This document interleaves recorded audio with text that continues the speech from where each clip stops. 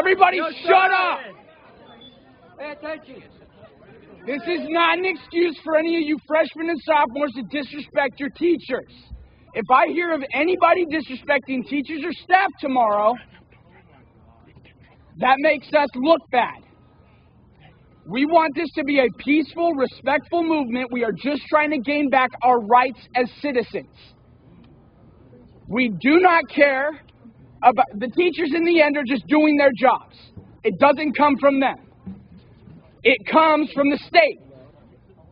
Now, what we're hoping is that they kick us out. This sounds bad, but we're hoping that they kick us out because they have to report that attendance to the state. And if the state sees a day where a hundred or I don't even know how many kids are here are absent, they're going to start asking questions. Our hope is is we can get this statewide. Now I might get in trouble for this, but the plan still stands for Wednesday. For tomorrow, I mean.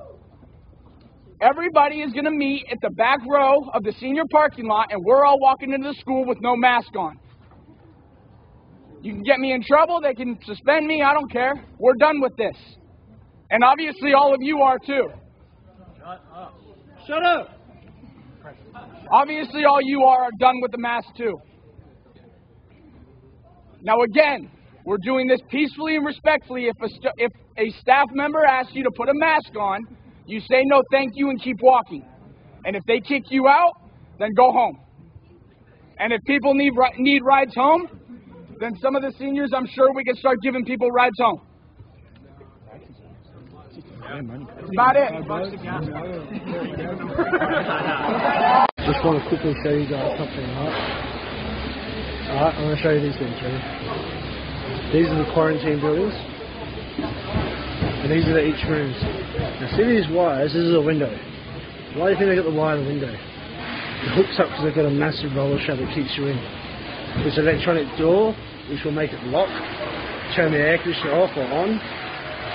There's that much gadgets, these buildings, what is it, 900,000 or, or 90, yeah, 900,000 each building.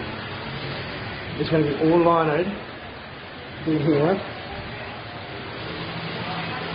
The windows are double glazed, so you won't be able to punch out of it. It's solid. Each room. This is where you'll be sleeping.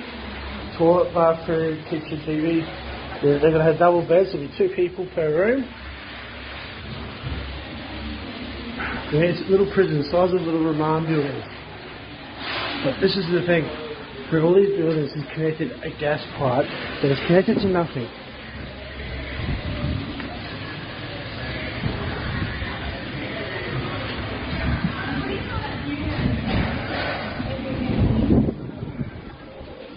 Right here.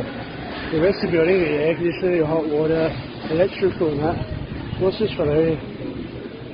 It's through the wall. It's through. It's going to come through the ventilating. Right? Are they going to gas this in these? Actually, don't, I'm starting to think they're not for the unvaccinated.